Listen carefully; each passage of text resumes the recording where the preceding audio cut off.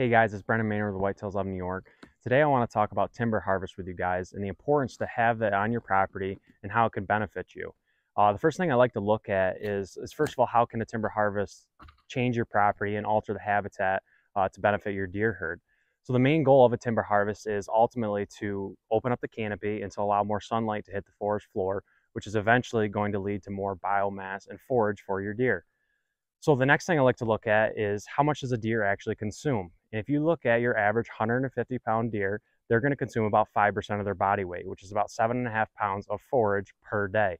You add that up, you multiply that, multiply that by 365 days in the year, and you're going to be looking at well over 2,000 pounds of forage and biomass that deer needs in order to live. Let's now transfer that into your habitat and let's look at your property and see what it provides for your deer herd. Your average closed canopy forest is only going to provide about 50 to 100 pounds of forage per acre. That is not a lot. If you actually figure out how much acres you need to feed one deer, it's about 30 acres just to feed one deer. Now you take that same 30 acres and you open up the canopy, which can produce over a thousand pounds of forage per acre. You now can hold a dozen deer on that 30 acres. So if you bring a logger in on your property without developing a plan first, what's going to happen? What's the worst case scenario? So obviously when a logger or any forester goes into your property, what they're looking at is log value. They're going to take out the mature timber, the one that's going to increase their, their overall paycheck and also yours. However, how can that affect your property negatively? Let's just say, worst case scenario, that all your mature timber is around the perimeter parts of your property or in the first 50 or so yards off the off your perimeter, off your border, is where all that mature timber is. And the interior of your property is, let's say, some medium growth trees, something that's not providing forage for the deer, but something that also isn't going to provide log value for that logger to take out of there. So they come in and they clear out that perimeter, those 50 or 60 yards off of your border, and now that is going to be open canopy forest. That is going to be your best bedding cover. Why is that a bad thing? Because if you're with one of my clients or if you've ever watched any of my videos or any of my content, the number one thing I do on every property is having a perimeter access trail. So therefore you can access your tree stands with always blowing your wind out away from the, the core area. So if you go in and you have that logger clear out what he sees as the best timber and the best way to go about doing a timber harvest on your property, you've now just created all that bedding area right where you want to access. And it's going to be extremely hard to hunt it at that point.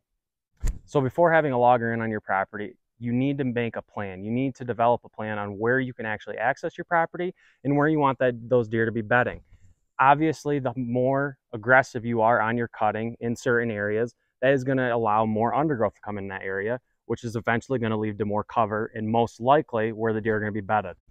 So let's just take your average 40 acre farm. Let's imagine it's a monoculture of just mature mature timber, has not had a, a timber harvest on it in maybe ever. It's been multiple, multiple years. Um, so let's take that and how would I go about designing a timber harvest for that specific property? Well, the first thing I would do is I'd have the logger not touch any of the trees uh, except the extremely, extremely mature, high value trees in that 50 yards or so around the perimeter. I would have him focus his cuttings towards the interior of the property. Just like we had talked, that's the reasoning for that is because that creates the cover and the most bedding area opportunities for your deer herd, where we want the deer to be bedded for the majority of the daylight hours throughout the hunting season. Now, after that logger goes out of there and he's done, what I'm going to do is I'm going to go in and pick precision bedding areas. And what that is and what you've heard me explain before is that is a spot on the property where we clear 60 to 65% of the canopy or more in a half acre or less size. That is the most precise, the most thick area on your property in about two to three to four years from now. So you have these extremely precise areas that are very thick that you know the deer are going to be bedded in. Then outside of that, you have browse levels that are about medium, and then the perimeter, perimeter of your property has no browse for the deer. This now allows us to hunt your property effectively so we can blow our winds in those areas and where we can access. So what should you have taken out of this? Always make a plan before you have a logger come in on your property. It's very important that they do the cutting in the correct manner so it's going to increase the overall hunting potential. If you go about and, and you have him come in without doing having a plan in the first place, most likely that property is not going to be set up correctly, and most likely it's going to be hard to hunt. Make sure you pick the areas where you want the deer to be bedded and have an aggressive cutting done in those locations. And then the areas where you don't want deer to be, do not do a cutting in those locations. Have a plan before you do a timber harvest. That is the most important thing. Thanks for tuning into this week's episode. Be sure to tune in every week for more tips and tactics. And always remember, your success is our success.